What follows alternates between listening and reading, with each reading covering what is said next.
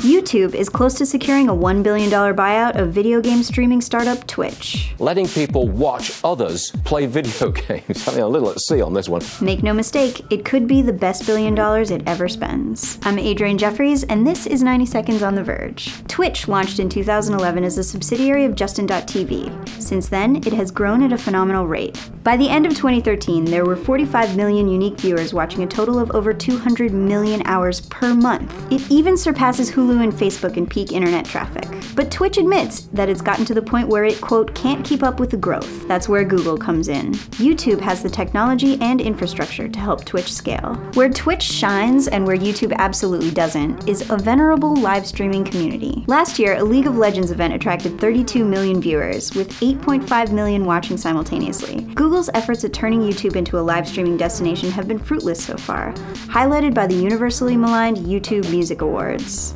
That's the benefit for both companies, so what's the catch? Top of the list is copyright.